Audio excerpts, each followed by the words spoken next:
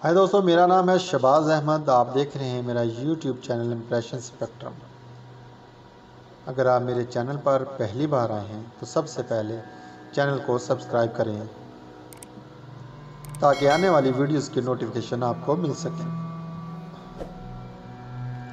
Video को and तक देखिएगा। वीडियो पसंद आने की सूरत में से लाइक कीजिएगा और कमेंट सेक्शन में बताइएगा ये वीडियो आपको कैसी लगी। आज की वीडियो में हम बात करेंगे छुट्टी का दिन कैसे गुजारें। क्योंकि बहुत से लोगों को छुट्टी तो होती है, लेकिन उनको उस छुट्टी का दिन गुजारना नहीं आता। वो इस वजह से इस छुट्टी के दिन को भरपूर इंजॉय नहीं कर पाते और हर इंसान हफ़्ते में कम से कम एक छुट्टी तो करता ही है। तो आइए हम आपको सिखाते हैं कि कैसे छुट्टी के दिन को बेहतर से बेहतरीन गुजारा जा सकता है। पुरस्कून रहने के लिए ज़रूरी है कि ख़ुद को ये महसूस करवाइए कि आप पुरस्कून हैं। दरअसल यही मुश्किल काम है। बहुत से लोग बाहर तो पुरसकून ज़िंदगी बसर कर रहे होते हैं मगर दर पर्दा वो जहनी तौर पर ख़ुद को पुरसकून महसूस नहीं करते, जिससे उनके लिए मुश्किल पैदा होती हैं। दौरे हाजिर में जहाँ ज़िंदगी बेतहाशा मसरूफ़ हो गई है, वहाँ अपने लिए वक्त निकालने की कोई जहमत ही गवारा नहीं करता। रोज़मर्रा के हवाले से देखा जाए तो काम और मुलाजमत के बाद इंसान इस कदर थक है कि वो अपने लिए भी वक्त निकाल नहीं पाता और ना ही तफरी के मौक़ा से लुत्फ़ उठा सकता है। जहनी तनाव और परेशानी से निजात के लिए ज़रूरी है कि हफ़्ते में कम अज़ कम एक ऐसा दिन गुजारा जाए, जिसमें आप सिर्फ़ और सिर्फ़ इंजॉय कर सकें। हफ़्ते में सात रोज़ में से एतवार का दिन ऐसा होता है, जिस रोज़ आप अपने आप को रिलैक्स कर सकें। खुद को ये महसूस करवा सकें कि आप पुरसकून हैं। अपनी छुट्टी के दिन को खुशगवार बनाइए और मंदरजा झैल बातों पर गौर रखते हुए अपने वीकेंड को खूबसूरत इंजॉय कीजिए। माहरीन नफ्सियात के मुताबिक जहनी दबाव को बहुत हद तक कम करने का मौसर तरीन ज़रिया है कि लिखा जाए। आप अपनी आप बीती लिखिए। कोई अफसाना, कोई कहानी या फिर अपने वीकेंड पर की जाने वाले कामों की एक फहरिस्त बना लीजिए। ऐसा करने से होगा क्या? तो ऐसा करने से आपको मालूम होगा कि आप कितना काम कर रहे हैं। इससे दिल को भी इतमान होगा। आप बहुत सारा काम कर चुके हैं। अगर आपको डायरी लिखने की आदत है तो शायद ये आप जानकर हैरान होंगे कि इस आदत से जहनी सुकून के साथ साथ एक हमदर्द की कमी भी महसूस ना होगी। अगर आपने कोई गलती की है तो तहरीर करके इससे सुधारने का मौका मिलेगा। दूसरा है नींद। अमूमन लोग छुट्टी के रोज़ ज़्यादा सोने को तरजीह देते हैं, मगर क्या आपको मालूम है कि ज़्यादा सोना सेहत के लिए ख़तरनाक हो सकता है? क्योंकि ऐसा करने से आप अपने जिसम के अंदर कुदरती अलार्म का दौरानिया गड़बड़ कर देते हैं। माहरीन नफ्सियात के नज़दीक आप अपनी नींद का एक ख़ास शेड्यूल तरतीब देना आपकी जहनी और जिसमानी सेहत की तंदरुस्ती का अमीन है। अक्सर अवत आपने महसूस किया होगा, अगर नींद के वक्त निकल जाए तो फिर करवटें बदल बदल कर आप थक जाते हैं, मगर आपको नींद नहीं आती। और अगले रोज़ सारा वक्त अजीब सी बेजारियत और बेचैनी आपका अहाता किए रखती है। दरअसल जो नींद का सिस्टम हमारे जिसम ने कुदरती तौर पर फिट किया गया है, अगर उसके मुताबिक ना चला जाए तो इंसान के अंदर की फैक्ट्री डिस्टर्ब हो जाती है। तीसरा है वर्जिश। दिन का आगाज़ अगर वर्जिश और वाक के साथ किया जाए तो सारा वक्त एक फरहत बख्श एहसास रहता है। बिना नाश्ते के वाक और वर्जिश यहाँ तरोताज़गी का एहसास बख्शती है, वहीं जल्द को अनोखी चमक से भी नवाजती है। अपनी छुट्टी के दिन अगर आपको भी तरोताज़ा रहना है तो वर्जिश कीजिए और तन्हाई, तनाव और परेशानी को दूर भगाइए। और चौथा है चलना फिरना। हफ़्ते भर अमूमन लोग काम की वजह से बैठे रहते हैं, जिससे जिसम की मशीनरी जाम हो जाती है। अगर आप आठ से ज़्यादा घंटे स्क्रीन के सामने बैठे गुजारते हैं तो हर घंटे में दस मिनट निकाल कर उठें और चलें फिरें। हो सके तो वर्जिश के चंद सेटअप को दोहराएँ। नफ्सियात के एक जरीदे में शाया होने वाली तहकीक से ये मालूम हुआ कि हर घंटे में कम अज़ कम पाँच मिनट निकाल कर चलना फिरना ना सिर्फ़ आपके मूड को बेहतर बनाता है, बल्कि आपके जहन को भी तेज़ी से काम करने की कुत बख्शता है। दूसरी सूरत में लगातार बैठे रहने से जहनी और जिसमानी कारकर्दगी मुतासर होती है। मज़ा। पाँचवा है मज़ा। हफ़्ते भर का काम और बस काम के असूल पर अमल पैरा होकर आप बेहद बोरियत का शिकार हो जाते हैं।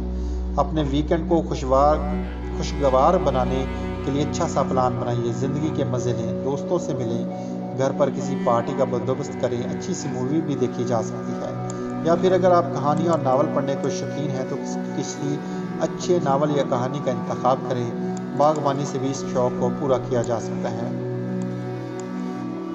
कुछ ज़्यादा, आम हालात में दिनों में हम लगी बंदी रूटीन पर ही अमल पैरा होते हैं। छुट्टी का दिन हम कुछ ख़ास अंदाज में गुजार सकते हैं और इस जमन में हम कोई आउटिंग का प्रोग्राम तरतीब दे सकते हैं या होटलिंग भी की जा सकती है। मकसद सिर्फ़ ये है कि किसी फिटी रूटीन से कुछ लम्हे ज़िंदगी के चुरा लिए जाएँ। काम। अब दफ्तर का कोई काम घर के साथ में लाना ही पड़ता है। जैसे किसी प्रोजेक्ट जिस पर आप काम कर रहे होते हैं, उसी ज़रूरत में जल्दी फ़ायदा उठाना चाहते हैं तो आपको अपने घर पर काम लाना पड़ता है। अपना अलार्म सुबह जल्दी सेट करें, इसे सुबह बेदार होकर आप जल्दी से अपने काम को मुकम्मल करें ताकि बाकी का दिन सुकून से गुजार सकें। खेल, छुट्टी के दिन रोज़ अमूमन लोग स्पोर्ट्स को पसंद करते हैं। सिर्फ़ पसंद करते हैं, बजाय इसके कि आप घंटा भर बैठकर देखें, उससे बेहतर है कि आप खेलें। आप खुद खेलों में शिरकत करनी चाहिए, ना सिर्फ़ खुद को, बल्कि अपने घर के अफराद को भी इसमें शरीक करें। अपनी फैमिली के साथ लम्हात को खुशगवार बनाएँ। अमरीकी अदारा बर एहतियाती तदाबीर के मुताबिक अफराद को 150 मिनट तक कोई ना कोई तबी सरगर्मी इख्तियार करनी चाहिए। ऐसा करने के लिए वीकेंड एक भरपूर मौका है। अंदर का बच्चा। कहते हैं कि हर इंसान के अंदर एक बच्चा मौजूद होता है। जा इसके कि आप अपने अंदर के बच्चे को संजीदगी की चादर में लपेट दें। अपने अंदर के इस बच्चे को खेलने दें? ऐसे मशागल जो आपको चाको चुबंद रखने में मददगार हों, इन्हें अपनाइए। अगर आपके घर में मौजूदा बच्चे आपके साथ हैं तो उनसे ज़्यादा से ज़्यादा वक्त गुजारें। तरजीहत ज़िंदगी में एक तरतीब बेहद ज़रूरी होती है।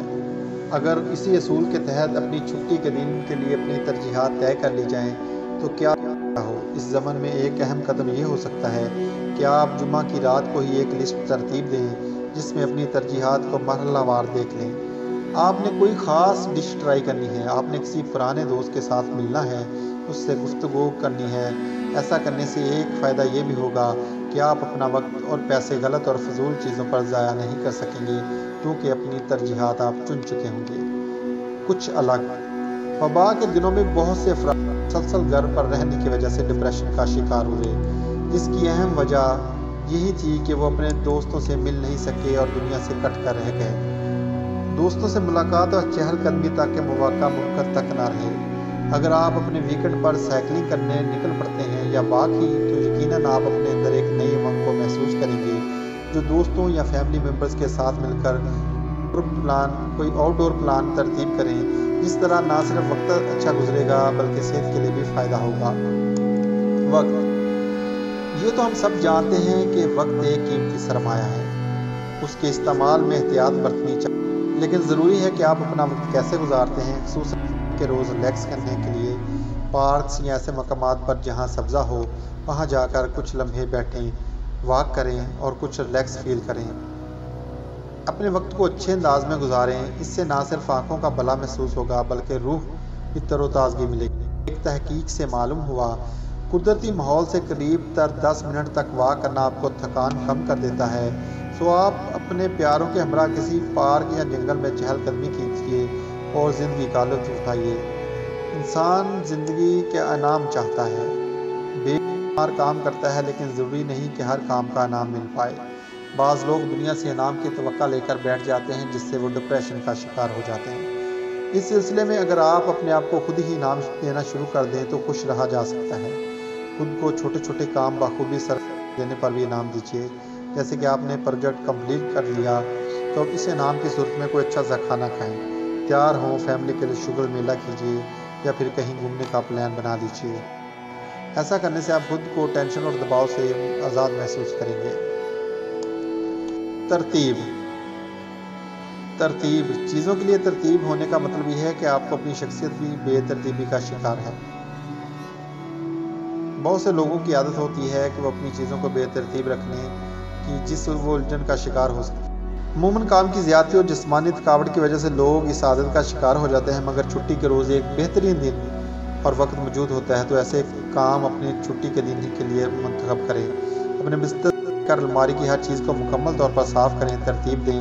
अपने घर के मुख्तलिफ़ हिस्सों से फालतू पड़ी अशिया को बाहर निकाल फेंकिए और मुमकिन हो तो फर्नीचर की तरतीब बदलने से भी एक खुशगवार एहसास मिलेगा। मदद। इंसान ज़िंदगी में अपनी ज़ात की खातिर बहुत कुछ करता है, लेकिन इंसानियत का तकाजा है कि काम आए दुनिया में इंसान के इंसान। सिर्फ़ अपने लिए जीना भी जीना नहीं है बल्कि किसी दूसरे की मदद करना भी ज़िंदगी है, और इंसान के बुनियादी फ़राइज़ में शामिल है। अपने इर्द गिर्द निगाह दौड़ाएँ, आपको ऐसे लोग नज़र आ जाएँगे जो आपकी मदद के मुंतज़र होंगे। ज़रूरी नहीं है कि वो मदद माली हो, बल्कि आप इनके किसी काम में हाथ पटाकर भी मदद कर सकते हैं। बाज़ार से सौदा सरफ लाने में मदद दे सकते हैं, या आप अंदरूनी या दिली खुशी की तमन्नाई हैं तो मददगार बने। खाना, खुराक की अहमियत से तो इनकार मुमकिन ही नहीं। इस ज़मन में ज़रूरी है कि अच्छा और मतवाजन खाना खाया जाए, जिससे जिसमानी तौर पर तोानाई मिले। बहुत से लोग नौकरी की वजह से अच्छा खाना नहीं बना पाते। अपने छुट्टी के दिन में ख़ुद मतवाजन गज़ा तैयार कर सकते हैं और इससे फ़ायदा उठा सकते हैं। तो नाजरीन आज की वीडियो आपको कैसी लगी? वीडियो पसंद आने की सूरत में से लाइक कीजिएगा और कमेंट सेक्शन में बताइएगा ये वीडियो कैसी लगी। और अगर आपने अभी तक चैनल को सब्सक्राइब नहीं किया तो प्लीज़ चैनल को सब्सक्राइब कर लें और मुकम्मल वीडियो देखने का बहुत शुक्रिया।